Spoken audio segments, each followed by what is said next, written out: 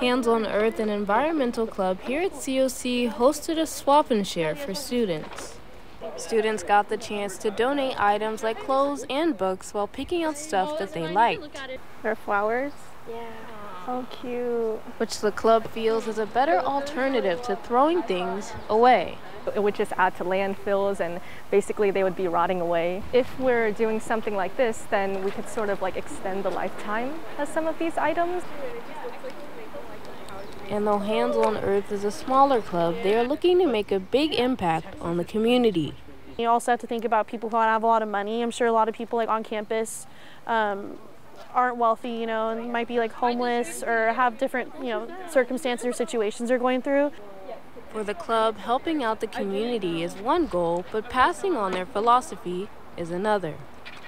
We're trying to encourage reusing, reducing, and recycling. So instead of going to a store and buying something brand new, we're hoping to encourage people to swap and share.